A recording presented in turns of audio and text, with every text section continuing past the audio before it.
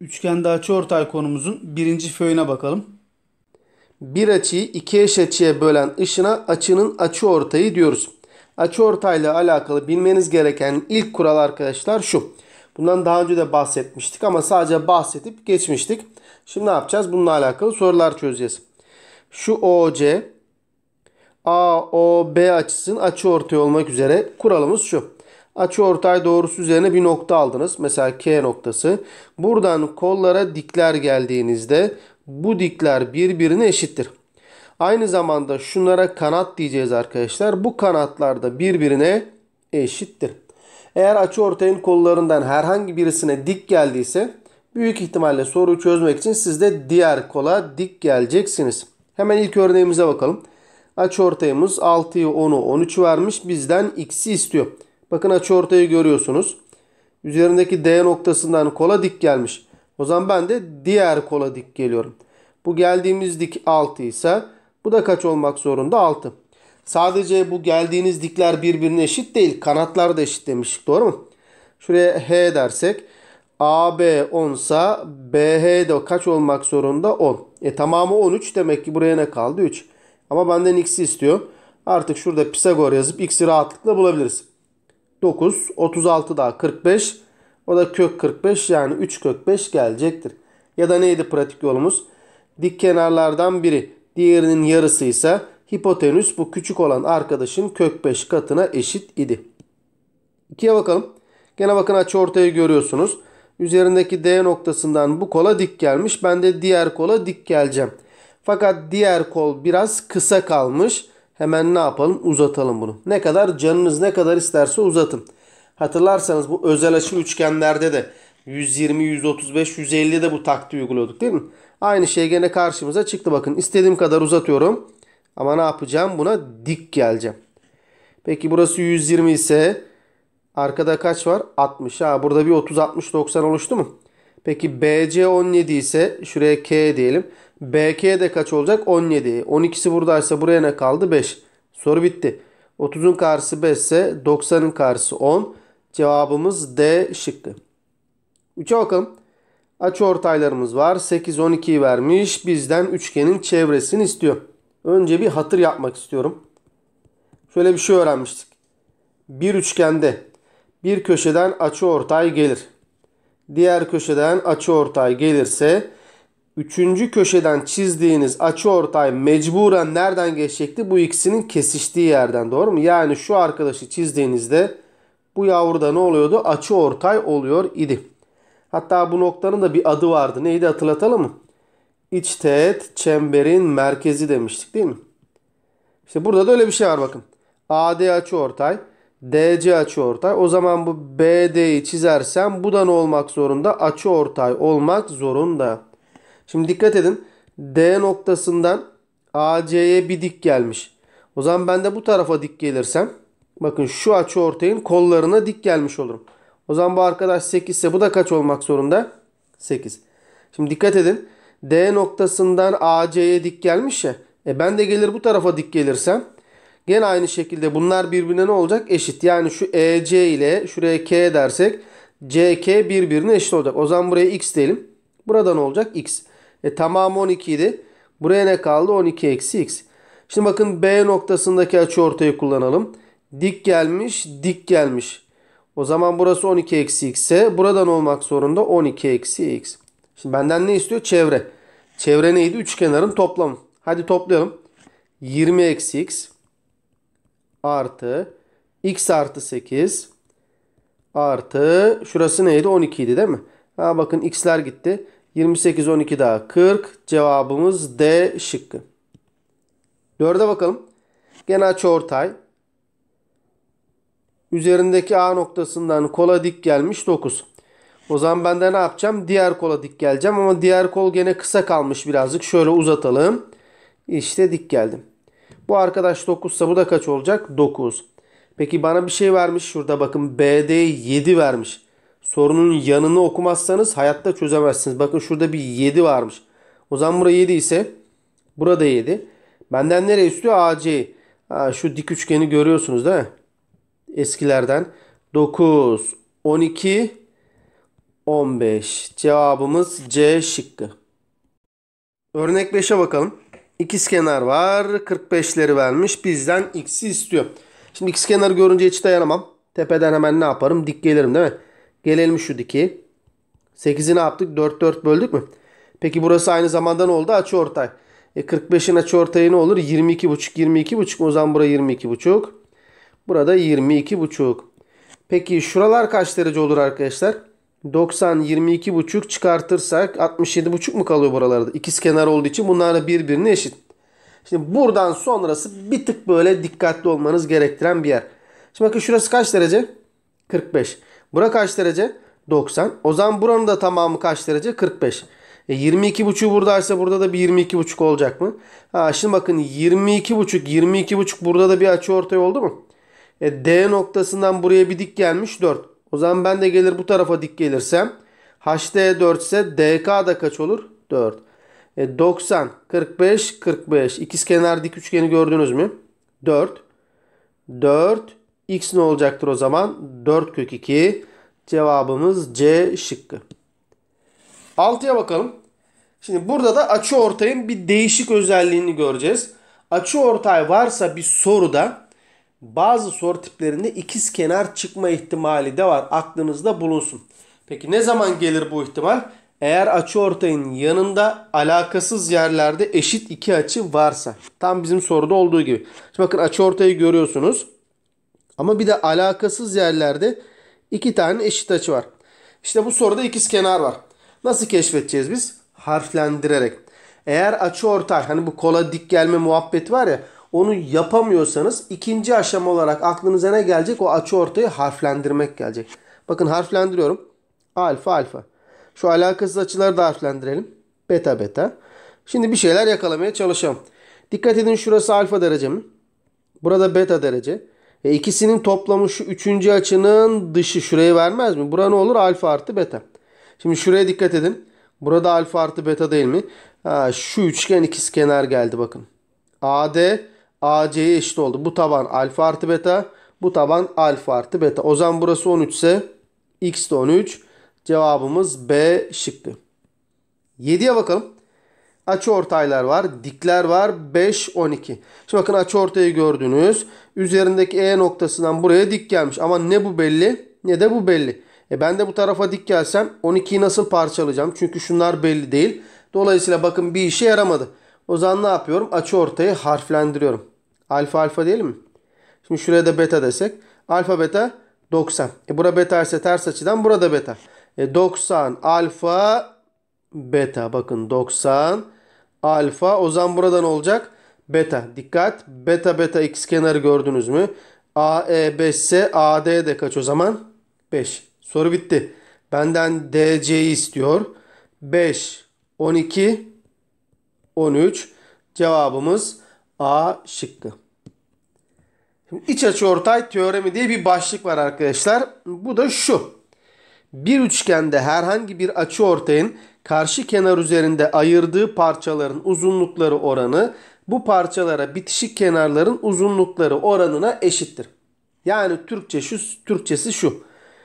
Bu kanatlar dersek C ile B'ye kanatların oranı X ile Y'ye de taban dersek tabanların oranına eşittir.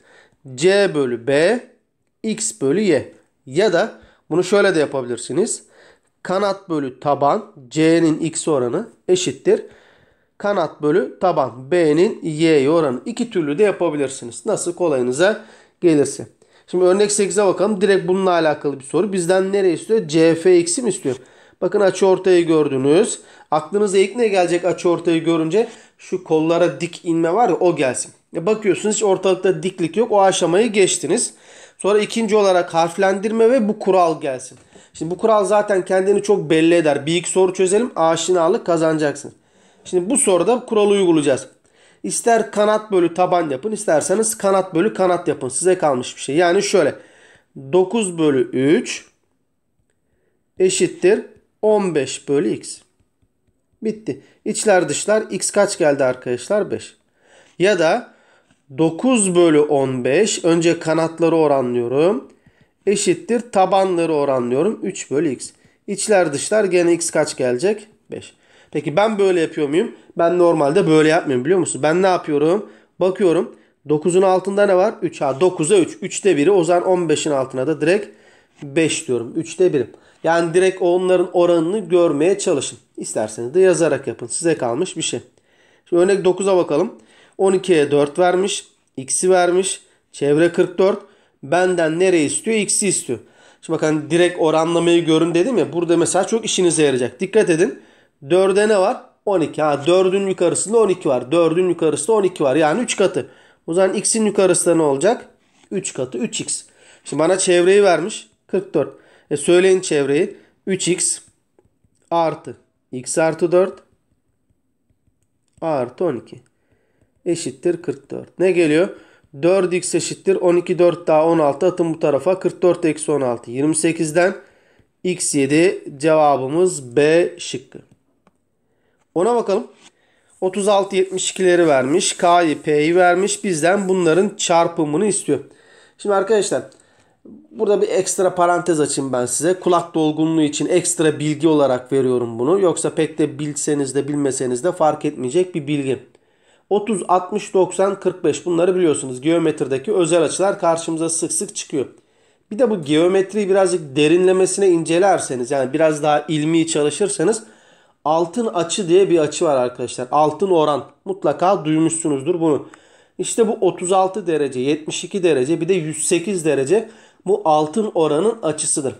Bu arkadaşlarla üçgenler oluşturduğunuzda bol bol ikizkenar elde edebiliyorsunuz. Şimdi bu soruda tam onunla alakalı bir soru. Bakın şimdi bol bol ikizkenar elde edeceğim. Şu an bakıyorum. Soruda hiç ikizkenar yok. Açıları yazalım. Göreceksiniz. 36, 72 daha 108. 180'den çıkar 72. Bakın 72, 72 ikizkenar geldi mi? Geldi. O zaman bura K ise burada K. Devam ediyorum. Şimdi buraya 72 ise bunun sırtı kaç derece? 108. 108, 36 daha 144. 180'den çıkar. Buraya da 36 kaldı mı? Ha bakın 36 36 ikizkenar geldi mi? DC de neymiş? K. Bakın iki tane ikizkenar bulduk. Daha bitmedi. 36 36 burası 72 derece mi? E burada 72 derece. Bakın bir de büyük üçgen ikizkenarmış. Burası K artı P ise o zaman burada ne olacak? K artı P. Bakın görüyorsunuz değil mi? Bu onun için yani biraz daha geometri derinleme incele, derinlemesine incelerseniz bu 36, 72, 108 açıları karşınıza sık sık çıkacak. Şimdi sorumuza dönelim gene. Şimdi KP çarpımını nasıl bulabilirim ona bakalım. Şu 36 36 açı ortayı görüyor musunuz? O zaman bu açı ortayla alakalı kuralımızı uygulayalım. Neydi? Kanatların oranı tabanların oranı mı eşitti? Yani K bölü K artı P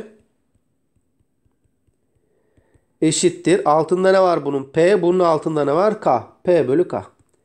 İçler dışlar yapalım şimdi. K çarpı K K kare eşittir K çarpı P K P artı P çarpı P P kare. Ha, bu yavruyu bu tarafa atarsak K kare eksi P kare eşittir K P. İşte bizden istenilen çarpım. K kare eksi P kare cevabımız A şıkkı. Açı ortayımız var. Oran vermiş. Oranı bir yazalım. FE 4 katsa FB 5 katmış.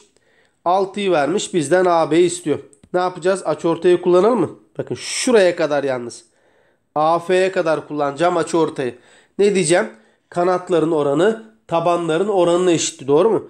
O zaman ben bu 4K'nın yukarısına 4X dersem 5K'nın yukarısı ne olacak? 5X. Şimdi oranlamayı yazdım. Başka bir şeye geçmem lazım soruyu çözmem için. Şimdi şu AD'ye dikkat edin. AD hem açı ortay hem de kenar ortay. Ne demiştik? Bir soruda iki tane özellik varsa eksik olan diğer iki özelliği de siz yazıyordunuz. Bu dört özellik neydi ki? İkizkenar, açı ortay, kenar ortay, yükseklik. Bu dört özellikten ikisi varsa eksik olan diğer ikisini de ben yazıyordum. Açı ortay ile kenar ortay var. Kimler eksik kaldı?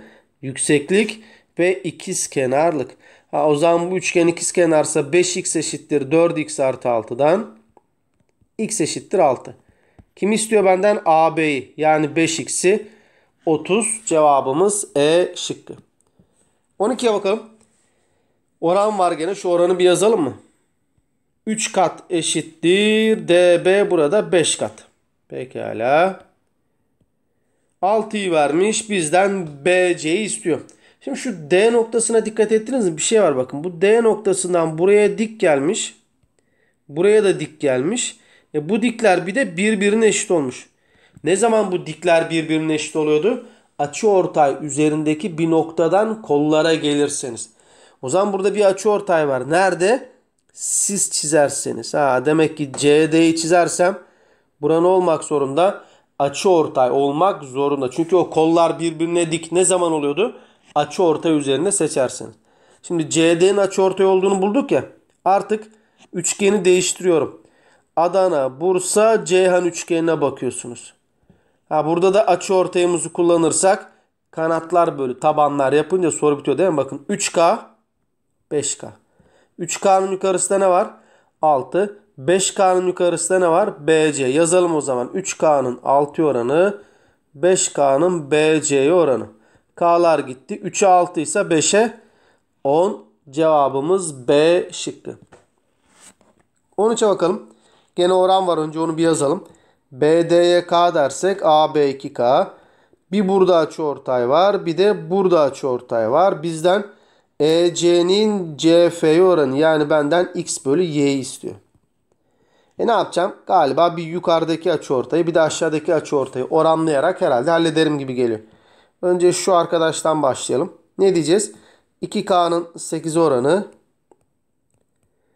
eşittir. Ha şurası belli değil. BC diyelim. BC'nin x oranı. Kanadın taban oranı, kanadın taban oranı.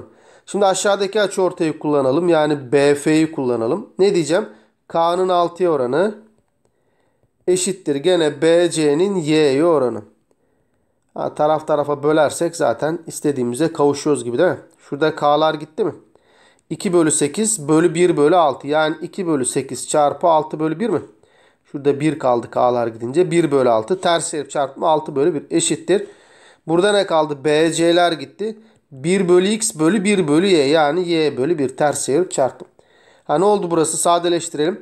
3'e şey 2'ye böl 3, 2'ye böl 4, 2'ye böl 1, 2'ye böl 2, 3 bölü 2 mi? 3 bölü 2 eşittir y bölü x. Bana x bölü y lazımdı. 2 bölü 3.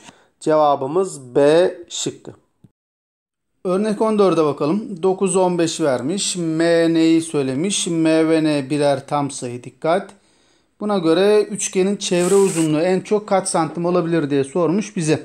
Şimdi bir soruda uzunlukla alakalı en büyük en küçük değeri soruyorsa bu neydi arkadaşlar? Büyük ihtimalle açıkenar bağıntısıydı. Doğru mu? O zaman ne yapacağız? Biz de burada herhalde açıkenar bağıntılarına dikkat edeceğiz. Şimdi bakınız 9'u vermiş, 15 vermiş, açı ortayımız var. Neydi kural arkadaşlar? Üst kenarlarla alt tabanlar orantılı.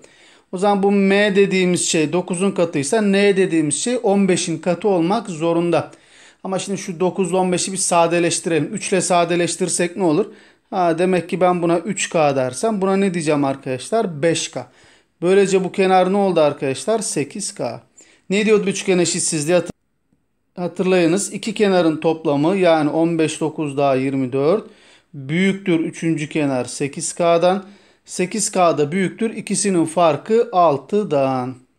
Şimdi ne yapacağız böyle bir eşitsizliği çözerken arkadaşlar? Ayrı ayrı çözüyorduk doğru mu? Fakat burada bir güzellik var. M ve N birer tam sayı. E, dolayısıyla K'lar da tam sayı olmak zorunda. Ha, o zaman direkt değer verebilirim. Hiç uğraşmama gerek yok. K'ya 3 versem 24 olur. 24'ten küçük olmaz. O zaman K'ya en çok kaç verebiliriz? 2. O zaman K'ya 2 verirsem bu kenar 6 olur. Bu kenarda ne olur? 10. Yani burası en çok kaç olabilir arkadaşlar? 16. E, en çok 16 olursa çevrede haliyle ne olacaktır? En çok. Ne geliyor? 15, 9 daha 24, 16 da buradan geldi. 40. Cevabımız C şıkkı. DEBC'ye paralel 12'yi 16'yı vermiş. K noktası iç teğet çemberinin merkezi. Ha, bunu birkaç soru önce hatırlatmıştım. Gene burada bir hatırlatalım. Neydi bu iç teğet çemberin merkezi? Üçgenin iç açı ortaylarının kesim noktası. Yani AK'yı çizerseniz açı ortay. BK'yı çizerseniz açı ortay. CK'yı çizerseniz açı ortay olmak zorunda. K noktası bu açı ortayların kesim noktası. Yani iç teğet çemberin merkezi. Şimdi buna göre ADE üçgenin çevresini istiyor. Şu verileri bir yazalım. Şurası 12'ymiş. Burası da 16'ymış. Şimdi size bir sır vereceğim. Bu sırrı unutmayacaksınız. Ta ki senenin sonunda sınava girene kadar. Ondan sonra unutabilirsiniz. Sıkıntı değil. Sır şu. Bir üçgende hem açı ortay hem de paralellik varsa kesin ikiz kenar var. Bunun kaçarı yok. Açı ortay artı paralellik. Şöyle yazalım mı hatta bakın. Açı ortay artı paralellik eşittir ikiz kenar. Burada onu kullanacağım. Bakın DE paralel mi? O zaman o aşağısındaki açıortayları kullanacağım. Bakın BK'yı ve CK'yı çizeceğim. Bu açıortayları kullanıp ikiz kenarları göstereceğim. Şunlar alfa alfa değil mi? Bakın Z'yi görüyor musunuz? O zaman bura alfa ise burada alfa oldu mu? İşte alfa alfa ikiz kenar. Ha demek ki hem paralellik hem açıortay varsa niye ikiz kenar çıktığının mantığını anladınız mı? Çünkü alfa alfa diyeceğiz. Alfanın aşağıdakini z kuralıyla yukarıya taşıyınca alfalar karşılıklı gelecek. ikiz olacak. Gayet de basitmiş. O zaman ben şuraya x birim dersem burada ne olacak? x birim. Tamamı 12 idi. Yukarıya ne kalacak? 12 eksi x. Gelelim bu tarafa. Buraya beta beta diyelim mi? Z'yi görüyorsunuz. O zaman burada beta. İşte x kenarı yakaladık mı gene? O zaman ben buraya y dersem burada ne olacak? Y. Tamamı 16 idi. Buraya ne kaldı? 16 eksi. Şimdi benden Adana, Denizli, Edirne üçgenin çevresini mi istiyor? Neden bu üçgenin çevresini istiyor? Anladınız galiba değil mi? Çünkü x'ler, y'ler birbirini götürecek. Bu kenar 12 eksi x. Bu kenar x artı y oldu. Ve diğer kenar 16 eksi y. Üçünü toplayıp çevreyi buluruz. Y'ler gitti mi? X'ler de gitti. 12, 16, 28. Cevabımız D şıkkı. 16'ya bakalım. Şu sevdiğimiz sorulardan katlama sorusu. Kemal adlı arkadaşımız ABC üçgeni biçimindeki bir kağıdı aşağıda gösterildiği gibi 2B'de DC olacak şekilde. Ha şurada. O zaman bura K dersek. Burası neymiş? 2K. Olacak şekilde AD boyunca katladığında B köşesi AC üzerindeki E noktasına geliyor.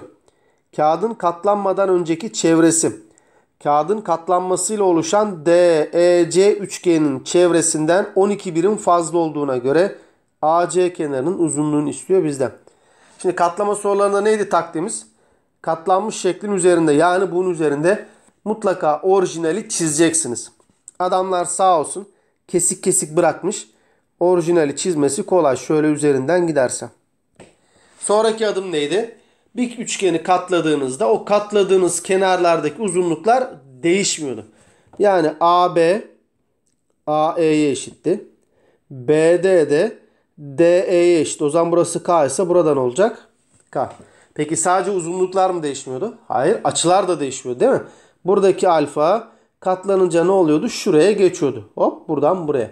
Ha bakın alfa alfa açı ortay geldi mi? O zaman açı ortayın özelliklerini de kullanabilirim. Neydi açıortayın özelliklerinden bir tanesi de kanatların oranı tabanların oranına mı eşitti? Bakın AD'yi görüyor musunuz? Açıortay. O zaman bu taban K. Bu taban 2K olduğuna göre bu tabana ben K'nın yukarısına M diyelim. 2K'nın yukarısı burası ne olacak arkadaşlar? 2 mi? Peki burası M ise katlanınca burada M oldu mu? E tamamı 2M'ydi. Buraya da ne kaldı? M. E soruyu bitirdik. Kağıdın katlanmadan önceki çevresi. M 2M de burada var. 3M. 3K da aşağıda var. 3M artı 3K. Eksi kağıdın katlandıktan sonra da oluşan DEC üçgenin çevresi. O da 3K artı M mi? E aradaki fark ne kadarmış? 12. O zaman bu arkadaşlar bunu çıkartırsak eşittir 12 mi? Eksiyi dağıtırsam 3K'lar gitti. 3M eksi M'den 2M mi kaldı? 2M 12 ise M kaçmış? 6. Benden nere istiyor? AC kenarının uzunluğu. Ha, AC 2M Yani 12. Cevabımız E şıkkı. Burada bir önemlimiz var arkadaşlar. Bu önemliyi de aklınızda tutmaya çalışın. Ne işe yarıyor bize? Süreden kazandırıyor. Yoksa çözüm olarak esasında öyle çok da şey değil. Hani bilmeseniz de soruyu çözebilirsiniz. Ama süre olarak bizi hızlandırdığı için aklınızda tutmakta fayda. Şimdi sadece şu örnek 17'de bir bu özellikten çözeceğim. Bir de farz edin ki özelliği bilmiyorsanız öyle çözeceğim. İkisi arasındaki farkı göreceksiniz zaten. Şimdi önce bir özelliğe bakalım. I noktası iç teğet çemberin merkezi olsun. Yani iç açıortayların kesim noktası. Diyor ki köşeden I'ya kadar olan mesafenin I'dan tabana kadar olan mesafeye oranı bu I'nın bakın sağındaki solundaki kenarların toplamı bölü taban diyor. Şimdi hemen sorumuza bakalım. BC'ye kaç vermiş bize? 7. O zaman söyleyin bana A'nın I'ye oranı bölü I'nın D'ye oranını bulabilirim. Ne diyeceğiz? A'nın I'ye oranı 8 ile 6'nın toplamı. I'dan aşağısı da 7. Yani 14 bölü 7'den kaç geldi? 2. Demek ki bu AI 2 katsa ID neymiş arkadaşlar? Kat.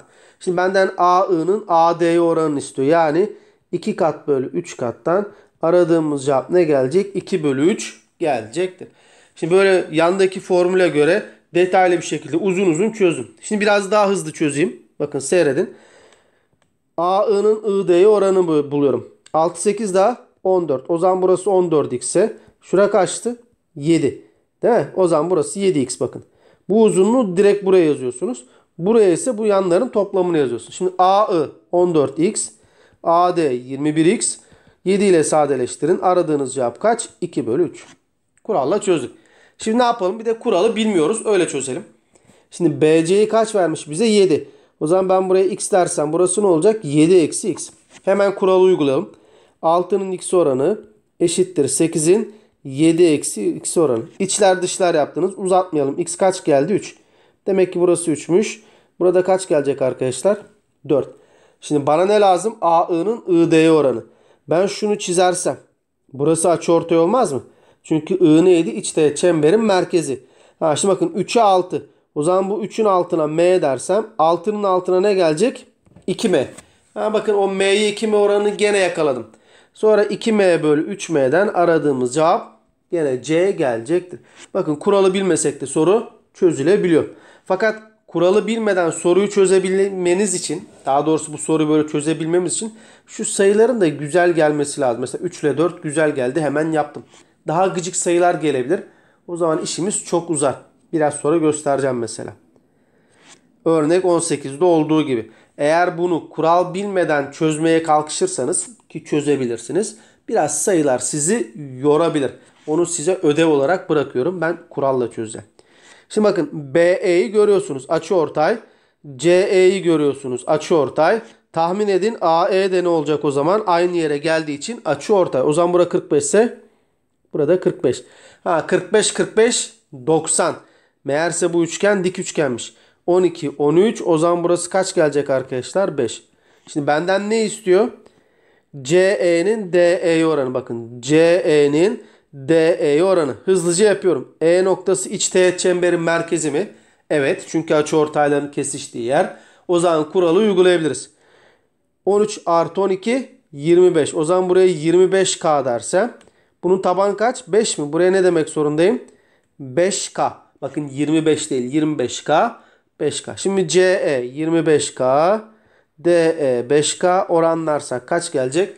5 gelecektir. Böylece konu anlatım faslını bitirdik. Testimize bakalım. Test az zevkli değil mi? Şimdi bakın açı ortayı görüyorsunuz. Üzerindeki bir noktadan kola dik gelmiş 12. O zaman ben de bu tarafa dik geliyorum. Bu 12 ise bu da 12.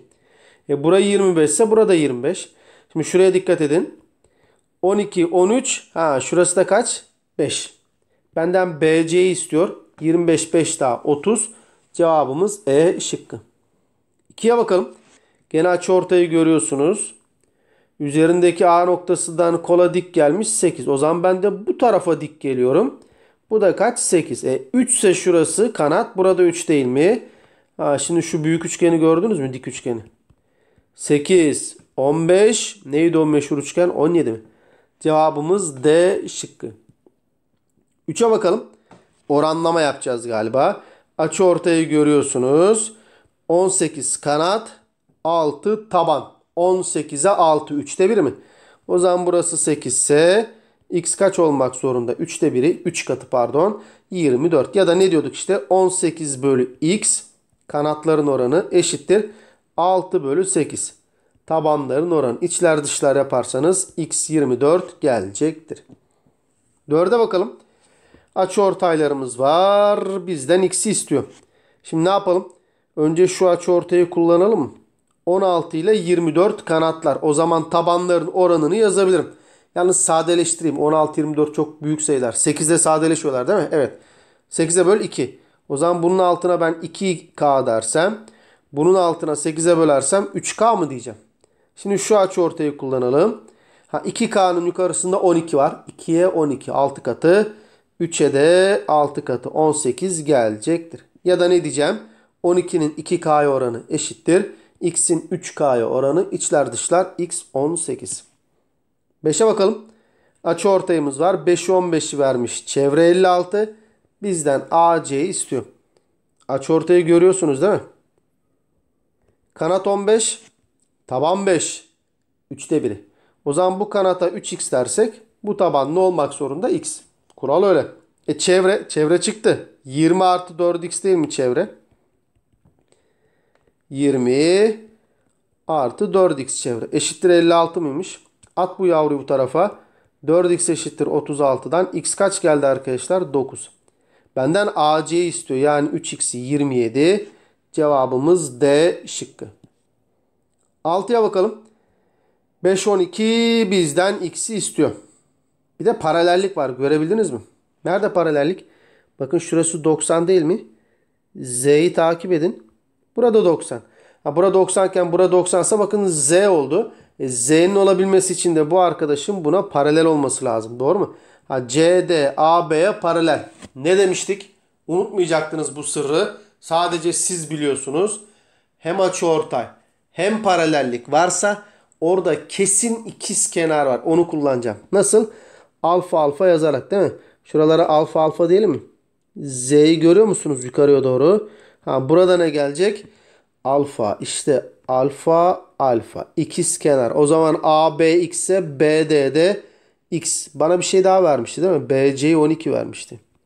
Görüyor musunuz şu sevimli dik üçgeni?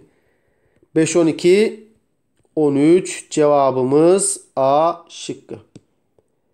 Diğer testimize bakalım.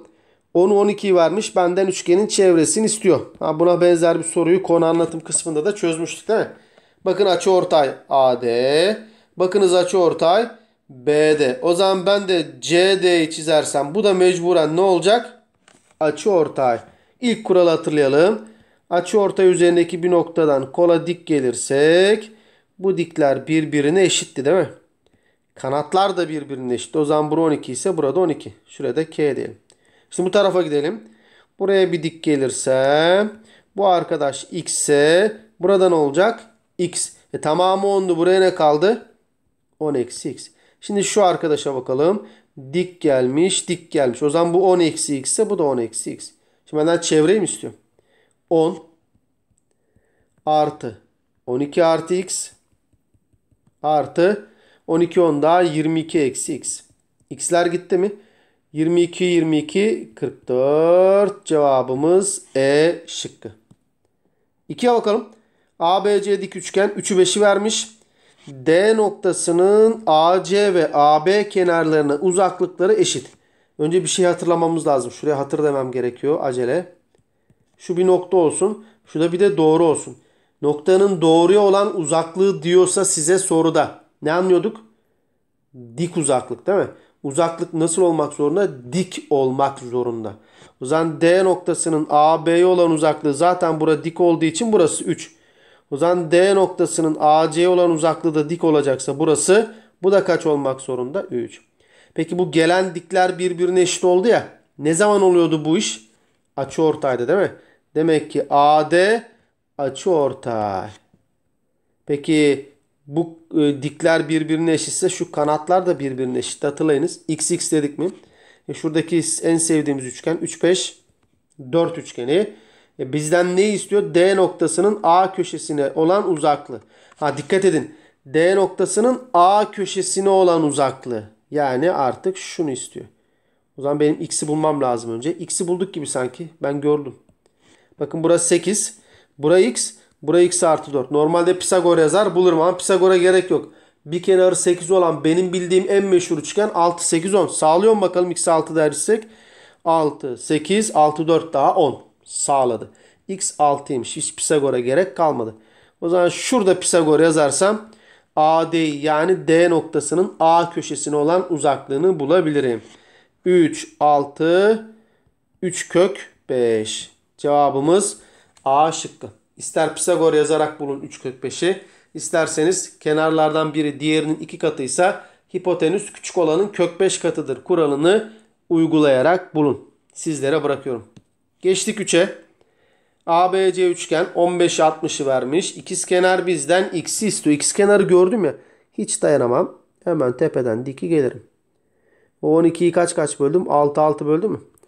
Şimdi sonraki açılara bakalım. E, 60 15 daha 75. Üçüncü açının dışı yani bana burayı verir mi? E, ikizkenar buraya 75 ise burada 75. E, 75 75 150 burası ne oldu? 30. E, dik geldim. Bu dik ikizkenar üçgende aynı zamanda açı ortay. O zaman burada 15 15 oldu mu? Ha, bakın bir açı ortay daha buldum. O da şu. Benim işime yarayacak olan açı ortay bu. Şurası 90 mı? Bakın bu mavi açı ortayın üzerindeki D noktasından bu kola dik gelmişim 6. O zaman ben de diğer kola dik gelirsem burada 6 olur mu? Ha 90, 60, 30. 60'ın karşısı 6 ise 30'un karşısı 6'nın kök 3'te 1'i oluyordu. Doğru mu? Hatırlıyorsunuz değil mi? Neydi kural? 30'un karşısı x iken 60'ın karşısı x kök 3, 90'ın karşısı da 2x'ti. Bana nereye 6 vermiş? 60'ın karşısı. Yani şurayı mı? 60'ın karşısı 6 yani x kök 3 6 ise bu arkadaşı bulabiliriz. 6'nın kök 3'te 1'i 2 kök 3 mü? Ne yap nasıl bölüyorduk bunu? Kökü görmüyorduk. 6 bölü 3. 2. Sonra o köklü ifadeyi yanına yazıyorduk. 2 kök 3. Demek ki buraya 2 kök 3. Yalnız benden 90'ın karşısını istiyor. 30'un karşısı 2 kök 3 ise 90'ın karşısı 4 kök 3. Cevabımız B şıkkı. Üçgen demiş ABC için. AD DC'ye eşit oran var yazalım. FC 5 kat. EF 3 kat. Peki başka ne var? 8 var. Bizden BE'yi istiyor. Şimdi şu BD dikkatinizi çekti mi? BD hem yükseklik hem de kenar ortay. Bir üçgende hem yükseklik hem kenar ortayın olabilmesi için yani yüksekliğin kenar ortay olabilmesi için o üçgenin ikiz kenar olması gerekiyordu. O dört kural var hatırlıyoruz mu? İkiz kenar, açı ortay, kenar ortay, yükseklik. Bu dördünden ikisi varsa diğer ikisi olmak zorunda. Eksik olan diğer ikisini yazıyorum. O zaman burası açı ortay ve bu üçgen ikiz kenar. E 3K'ya 5K şu açı ortayı kullanalım mı şimdi? 3K'nın kanadına 3X dersem 5K'nın kanadı ne olacak? 5x. E ikiz kenar o zaman 3x artı 8 eşittir 5x'ten. At bu yavruyu bu tarafa. 8 eşittir 2x. x eşittir kaç gelecek? 4. Benden BE istiyor. Yani 3x'i 12. Cevabımız D şıkkı. 5'e bakalım. Açı ortayımız var 45-45. Benden x'i istiyor. Şimdi 45-45'e yoğunlaşıyorsunuz ama orada bir 90 var değil mi? Nasıl? E 45-45 daha 90. Ha bu bir dik üçgen. Aklımda. Şimdi şu tabanı görüyorsunuz 5. Yukarıya ne yazmış kanada? X. E bu tabanla 10. O zaman bu kanada ne yazacağım? 2x. 5'e x ise 10'a 2x. Şimdi dik üçgen Pisagor yazamaz mıyım? Yazarım. Ama Pisagor'a bile gerek yok. Neydi kural? Dik kenarlardan bir tanesi diğerinin iki katıysa ya da yarısıysa bakış açınıza göre değişir. Hipotenüs küçük olanın yani x'in kök 5 katına eşitti. E hipotenüs ne 15? Ya da Pisagor yazın zaten bulursunuz. Biz daha işi pratikleştiriyoruz. O zaman x kök 5 15 ise x ne gelecek? 15 bölü kök 5 mi? Kökü görme 15 bölü 5 3. Şimdi köklü ifadeyi yanına yaz 3 kök 5. Demek ki x 3 kök 5. Cevabımız C şıkkı. 6'ya bakalım. 5'ler var 8 var bizden x'i istiyor. Ha bakın C noktasından dik gelmiş 5. Bu tarafa dik gelmiş bu da 5. E, diklerin birbirine eşit olabilmesi için açıortay olması lazım. Doğru mu? Ha, demek ki burası açıortay. Onu gördük. Şu kanatlar da birbirine eşit. Belki işime yarar. Şimdi benden x'i istiyor. E, dikleri geldim. Bitti. Ne diyorduk o zaman? İkinci durum olarak bu açıortayı harflendirmek gelsin aklınıza diyorduk. Değil mi? O zaman açıortayı harflendirelim. Alfa alfa değil mi? Peki sadece alfa deyince soru çözülüyor muydu? Çözülmüyordu değil mi? Ne yapıyorduk? Bir de yanına beta koyuyorduk. O zaman şurada beta diyelim. Böylece 2 alfa artı beta kaç oldu? 90. Artık ben biliyorum ki 2 alfa artı beta 90. Şimdi bakın Adana, Denizli, Ceyhan üçgenine bakın. Şurası alfa mı? E burası 90. O zaman bu arkadaşla bunun toplamı 2 alfa artı beta olmalı. Yani 90 olmalı. Alfa buradaysa buraya ne kaldı? Alfa artı beta mı kaldı? Ha bakın soru bitti. Şu yavru alfa artı beta mı? E bu yavru da alfa artı beta. İkiz kenar. O zaman bu 13 ise bu da 13. Cevabımız C şıkkı. Bir sonraki testimize bakalım. 9'u 6'yı vermiş. Açı ortay var. BD DC'ye eşit bizden BC'yi istiyor. Soruda muhteşem bir şey var. Görebildiniz mi? Muhteşem üçlü var değil mi? Nasıl muhteşem üçlü var? Bakın A köşesi 90 mı? 90'dan gelen bir kenar ortay var. Doğru mu? Ha, 90'dan kenar ortay gelirse ne oluyordu? Muhteşem üçlü. AD, BD, DC birbirine eşit oluyordu. Aklımda. Şimdi şu açı ortayı kullanalım. Taban 6, kanat 9. Oranda yazabilirim. Ama 6'ya 9 sadeleştirelim. 3 ile 2'ye 3 mü? O zaman ben buna 2 kat dersem bura ne olacak? 3 kat. 6'ya 9. 2 kata 3 kat. E BD 3 katsa DC de 3 kat. E muhteşem üçlü. AD de ne olacak demiştik? 3 kat mı? E AD belli zaten. 2K artı 6. Ha 2K artı 6 3 katsa K kaçmış? 6. Benden nere istiyor? BC'yi. 6K istiyor. 36. Cevabımız A şıkkı. 2'ye bakalım. Tamam amele bir soru arkadaşlar. İtiraf ediyorum. Amele bir soru. Matematik sorusu. Ne yapacağız? Böyle işlem yapacağız. Şimdi şekle baktığınız böyle açı ortaylar falan eşit kenarlar kafanızı karıştırmasın. Açı ortayın klasik özelliğini yapınca sonrası matematik soru çıkacak. Bak şimdi şunlara AA diyorum. Bir de sorunun tamamını okuyorum. Gene şekil üzerinde verilmeyen bilgiler var. Kaçırmayalım. AC için 15 diyor. AC neresi? Şurası bakın. Hadi yazalım hemen. AC'yi yazmışken. Ne yapacağım? AE açı ortayını kullanacağım. A'nın 8 oranı eşittir 15'in x artı 6 oranı. Ne yaptım? AC şey özür dilerim. AE açı ortayını kullanarak kuralımızı yazdım. Şimdi ne yapacağım? Şimdi DF açı ortayını kullanacağım. Dikkat edin bana DB'yi 24 vermiş. Şuraya 24 vermiş. O zaman yazalım. 24 altında x artı 8 var. A altında 6 var. Hadi yazalım. A'nın 6 oranı eşittir 24'ün x artı 8 oranı. İşte bitti bu kadar. Gerisi dediğim gibi amelelik. Taraf tarafa böleceğim. Matematik yapacağım. Hadi bölelim. A'lar gitti mi? Burada ne kaldı? 1 bölü 8. Bölü 1 bölü 6. Ters çevirip çarparsam 6 bölü 1 mi? Eşittir. Burada ne kaldı yukarıda? 15 bölü x artı 6. Ters çevir çarp x artı 8 bölü 24. Evet başlıyorum sadeleştirmeye. 8'e böl 1. 8'e böl 3. 3'e böl 1. 3'e böl 5. Bitti. Çarp burayı 6x artı 36.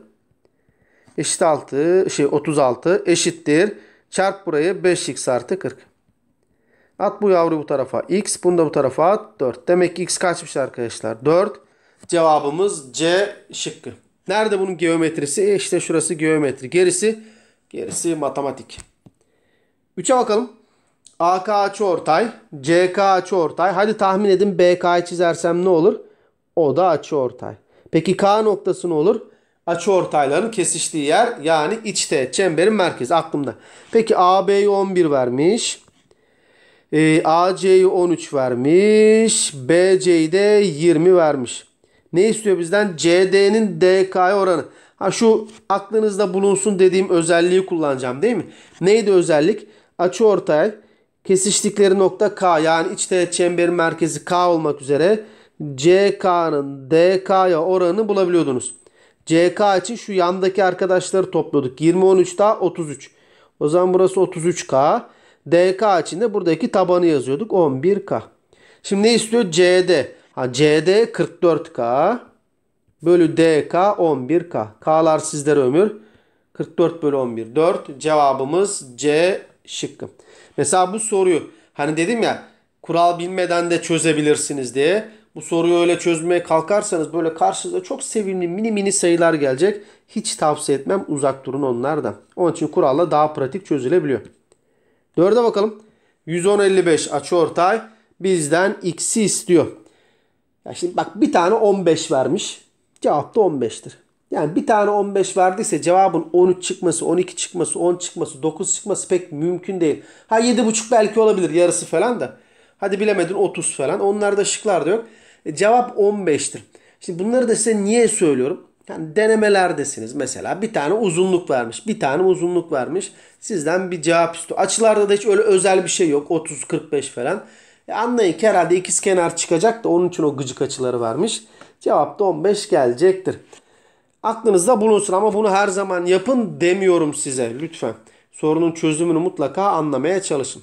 Şimdi açı ortay var. Bir de iki tane enteresan açı var. 110 ile 55 bizden x istiyor. Şimdi ilk kural neydi aklıma gelen? Kollara dik gelmek. Hani diklik miklik falan yok. Hiç bulaşmıyorum ona. İkinci kural ne? Harflendirmek. Alfa alfa diyelim mi? Şimdi sadece alfa deyince bu iş olmuyordu. Ne yapacağım? Bir de bunun yanına beta mı koyacağız? Hadi beta koyalım şuraya da. Şimdi alfa artı beta kaç oldu arkadaşlar? Burası 110 olduğuna göre 70. Alfa artı beta eşittir 70. Aklınızda mı? Pekala. Şimdi bakın. Şurası kaç derece? 55. Şimdi burası alfa ya. Alfa ile 55'i toplarsam dış açı burası alfa artı 55 olur mu? Ha bakın hiç şu beta'ya gerek yokmuş. Dur dur dur. Silelim burayı. Unutun unutun. Şöyle yapalım bakın. Alfa alfa dedik hiç beta'ya bulaşmayalım. Alfa artı 55. Burayı verdin bana. Alfa artı 55. Şimdi bakın şurayı bulmaya çalışacağım. Nasıl bulacağım orayı da? Bu sefer alfa ile 110'u toplayacağım. 110 ile alfanın toplamı şu üçüncü açının sırtını vermez mi? O zaman burası boydan boya 110 artı alfa. E 55'i buradaysa buraya ne kalır? 55 artı alfa kalmaz mı? İşte bahsettiğim şey bakın. 55 artı alfa, 55 artı alfa. X kenar geldi mi? O zaman bura 15 ise x de 15. Cevabımız E şıkkı. Zaten biliyorduk değil mi? 5'e bakalım. 4'ü vermiş. Açı şey eşit açılar var. Açı ortay yok aman ha. Eşit açılar var. Alakasız yerlerde. Bizden x'i istiyor. Bir de dikkat. BD DC'ye eşitmiş. Ha ikiz kenar var. Bakın şu yanları okuyun lütfen. Orada bazen bilgiler olur. Kaçırırsınız. Yazık edersiniz kendinize. Şimdi burada bir hatır yapacağım ben. Şöyle bir şey vardı ikiz kenarda. Bir ikiz kenar üçgende. Şöyle yandan dik gelirseniz sonra diğer yandan da dik gelirseniz bu yandan gelen dikler birbirine eşitti. Sonra şu karşılıklı parçalar da birbirine eşitti. Hatırladınız değil mi kuralı? Onu uygulayacağım bakın. Şu açı bu açıya eşitti. Bu açı da bu açıya eşitti. Bunu da hatırlatalım. Şimdi bizim soruda da bunu yapacağız bakın.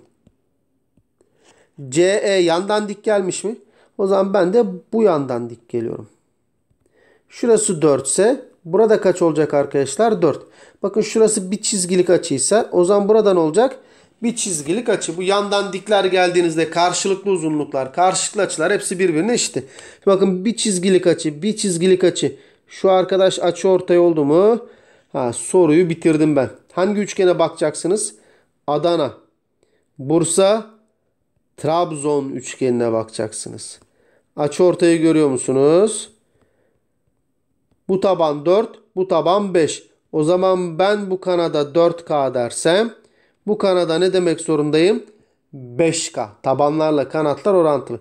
Şimdi bakın şu üçgeni görüyor musunuz? 4K, 5K. Tahmin edin burası ne olacak? 3K. Ya o 3K'lık yer 4, 5 daha 9 değil mi? Demek ki K kaçmış? 3.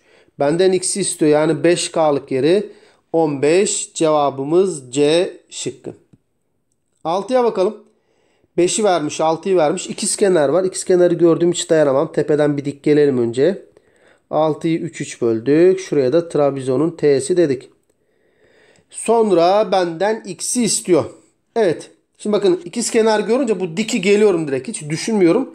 Sonra soruda ne yapabilirim diye düşünüyorum. Şimdi ikiz kenar var ya 5 5. Alfa alfa diyelim mi şuralara? Buraya beta diyelim. Şey beta olur mu burası? Ters açıdan burada alfa. Nasıl sildik ya? Şöyle dik gelmiştik değil mi? Buralar 3 3'tü. Evet. Alfa alfa dedik. Şimdi bakın şuraya beta desem. Alfa beta ne oldu arkadaşlar? 90. Aklımızda mı? Evet. Şimdi bakın 90 alfa. O zaman buradan olmak zorunda beta. Ha, beta beta yan yana geldi açı ortay oldu mu? Şimdi nereye bakmanızı istiyorum sizden? Ceyhan, Trabzon, Adana üçgenine bakmanızı istiyorum. Beta beta açı ortayı gördünüz mü? Bu taban 3, bu taban 5. O zaman bunun kanadına 3K dersem bunun kanadına ne diyeceğim? 5K. Şimdi bakın şu üçgene bakın. 5K, 3K o zaman burası ne olacak? 4K. O da 8 değil mi? Ha 4K 8'den K kaç geldi? 2. Benden X istiyor yani 5K'yı 10. Cevabımız D şıkkı. Ve en sevdiğimiz yeni nesil sorular. Bakalım neymiş bunlar? Aşağıda bazı işlem adımları belirtilmiştir diyor. O noktasından OA ve OB olmak üzere iki farklı ışın çiziliyor. Hadi çizelim. Şurası O olsun mu? bu tarafa bir ışın. Bir de bu tarafı bir ışın. Bu OA olsun. Bu da OB olsun. Tamam. Oluşan AOB açısını ortadan ikiye bölecek şekilde yani açı ortay diyor. OC ışığını çiz diyor. Çizdik onu da. Burada C olsun. İşte açı ortay. Tamam. Sonra OC ışığın üzerinde alınan bir P noktasını aldım. Herhalde şu kollara gelen diklerden bahsediyor değil mi? OA ışınına olan uzaklığı. Ha, uzaklık deyince ne anlayacaktık? Dik uzaklık değil mi? 2x eksi y. Sonra OB ışınına olan uzaklığı da x artı 2y. E bu uzaklıklar birbirine eşit olacaktı. Bu niye böyle farklı farklı demiş. Demek ki denklem çözeceğiz değil mi? 2x eksi eşittir x artı 2y'den. Bunu bu tarafa atarsam x. Bunu bu tarafa atarsam 3c. x eşittir 3c oldu mu? Cepte. Şu rengi değiştirelim. Çok girmesin birbirine. Sonra OC ışığının üzerinde bir R noktası alıyorum. Aldım. Burası olsun. Ha gene OA ışığına olan uzaklığı x artı y. OB ışığına olan uzaklığı da 2y artı 2'ymiş. O zaman ne diyeceğim? x artı y eşittir. 2y artı 2 mi? E ben x'in 3y olduğunu biliyorum. Şuraya yazalım mı? 3y bir y de burada var. 4y eşittir. 2y artı 2'den. Atın bunu bu tarafa. 2y 2'den y kaç geldi? 1. Benden x'i istiyor. E, y 1 ise x 3y'di. Yani 3 kere 1 3. Cevabımız B şıkkı. 2'ye bakalım bir kural vermiş bize. Ha, ÖSYM bunu yapıyor değil mi? Artık yukarıda bir kural veriyor. Aşağıda onunla alakalı bir soru. Bakalım bu kural bildiğimiz bir kural mı? Bir de bu verilen kurallar her zaman sizin bildiğiniz bir kural olmak zorunda değil. Sizin bilmediğiniz, sizin müfredatınızda olmayan bir kural olabilir ama basit bir kuraldır. ÖSYM onu verip altta onunla alakalı bir soru sorabilir. Şimdi diyor ki bir ABC üçgeninde AD iç açıortay olmak üzere AD iç açıortayının uzunluğu ile Ha bakın şu arkadaşın uzunluğu ile bu kanatlar ve taban arasında bir ilişki varmış. BC kanatlar XY taban demiştik değil mi? Ha neymiş? Bu AD'nin karesi yani açı ortayın uzunluğu kanatlar çarpımı eksi tabanlar çarpımıymış. O zaman bu kuralla alakalı sorumuza bakalım. 3'ü 4'ü vermiş. Bizden nereye istiyor? Çevreyi. Bir de AB AD'ye eşitmiş. Ha şimdi bakın açı ortayı kullanalım önce. Bu taban 3. Bu taban 4. O zaman bu kanada ben 3K dersem bu kanat ne olacak? 4K. E ikiz kenar buradan olacak arkadaşlar 3K. Vermiş bize değil mi ikiz kenarı yanda? Ha şimdi bakın AD'nin nasıl bulunabileceğine dair ben formülü biliyor muyum? Ne diyordu formül? Bu 3K'nın karesi. Eşittir. Kanatların çarpımı yani 3K çarpı 4K eksi tabanların çarpımı 3 çarpı 4. Buradan K'yı bulurum. Evet soru bitti. 3K'nın karesi 9K kare. 3K çarpı 4K 12K kare eşittir. 3 kere 4 12 mi? Pardon eşittir değil. Eksi 3 kere 4 12 mi? Ha, bunu bu tarafa atalım. 12 eşittir. Bunu bu tarafa atalım. 3K kareden. Sadeleştir. 4 eşittir. K kare. K kaçmış? 2. E K 2 bulduk. Soru bitti. Demek ki burası 6. Burada 8'miş. K yerine 2 yazın. Çevre istiyor. 6, 8 daha 14. 7 de burada var. 21. Cevabımız C şıkkı. 3'e bakalım. Gene bir tane kendimiz çizip kendimiz çözeceğiz. BAC 90 derece olacak şekilde bir ABC üçgeni çizelim diyor. Haydi çizelim. Şöyle bir şey. B A C. Tamam. Sonra BD DC olacak şekilde BC üzerine bir D noktası alın. Yani ortada bir yerde alacağız ki BD DC eşit olsun değil mi? Sonra AC üzerinde A ve C'den farklı bir E noktası işaretleyin diyor. E, hadi o da şurada bir yerde olsun. Ortada olmasın. Biraz değişik bir yerde olsun. AD ve BE'nin kesim noktası P olsun. Çizelim. AD. Ha bakın AD'yi çizince hemen bir şey geldi aklıma. Muhteşem üçlü değil mi? 90'dan kenar ortay gelmiş. Muhteşem üçlü soruda kullanabiliriz. BE de bu. Kesim noktalarına ne diyecekmişiz? P dedik. Yukarıdaki çizimde A, B, E açısıyla E, B, C açısı eşitmiş. Ha şu açı ortaymış o zaman. Pekala. AP'ye 2 kat dersek PD 3 katmış. Tamam. Buna göre AB'nin PD'ye oranını istiyor bizden. Ha PD zaten 3K. AB'yi K türünden bulabilirsek soru bitti mi? Pekala. Şimdi ne demiştim? Soruyu çizerken 90'dan gelen kenar ortay muhteşem üçlü demiştik değil mi? O zaman AD 5K ise DC de 5K. BD de 5K. 5K, 5K, 5K. Muhteşem üçlü. Ha şimdi bakın şu açı ortayı kullanalım. AB kanat 5K kanat. Ne diyeceğim? AB'nin kanat 5K oranı yani kanadın kanadı oranı 2K'nın 3K oranı. Şu K'lar gitti mi? İçler dışlar yaparsam AB ne geliyor? 5 kere 2 10K bölü 3. Ha, AB'yi de buldum bakın 10K bölü 3'müş. Şimdi oran sormuştu. Yazalım. AB'nin yani 10K bölü 3'üm PD'ye PD neydi? 3K mı? Oranı. K'lar gitti. 10 bölü 3 bölü 3 yani 10 bölü 9. Cevabımız B şıkkı. Evet gene bir katlama sorusu. Çok seviyoruz biz bunu. Arif kenar uzunlukları 9 ve 12 birim olan ABC üçgeni biçimdeki bir kağıdı aşağıda gösterildiği gibi AD boyunca katladığında B köşesi AC kenar üzerindeki E'ye geliyor. DE 6'ymış. Bizden DC X diyelim ona X'i istiyor. Peki ne diyorduk? Katlama şekli üzerinde mutlaka orijinali çizin. Kesik kesik bırakmış adam. işimizi kolaylaştırmış. O zaman biz de şöyle çizelim. Katladığınız zaman uzunluklar değişmiyordu. BD katlanınca DE olmuş. O zaman bura 6 ise burada 6. Peki AB kaçtı? 9 değil miydi? O zaman burası 9 ise AE de kaç olacak? 9. Bu buradan buraya katlanmış değil mi? Peki sadece uzunluklar mı katlanıyordu? Hayır. Açılarda. Buraya alfa dersek. Burada ne oluyordu arkadaşlar? Alfa. Ha alfa alfa. İkiz kenarı gördünüz mü arkadaşlar? Şey ikiz kenar diyorum. Nereden çıktı ya? Alfa alfa açı ortayı gördünüz mü arkadaşlar? Açı ortayı kullanalım. Bir de bana AC 12 vermişti değil mi? Şuraya kaç kaldı o zaman? 3. AC 12. Ha DC istiyor. Direkt açı ortayın oranlarını yazalım. Soru bitti. Kanat 9, taban 6. 9 bölü 6 eşittir. Kanat 12, taban x. 12 bölü x. İşler dışlar yaparsak 12 çarpı 6 72 9'a böl 8. Cevabımız B şıkkı. Böylece föyümüzün sonuna geldik arkadaşlar. Geçmiş olsun.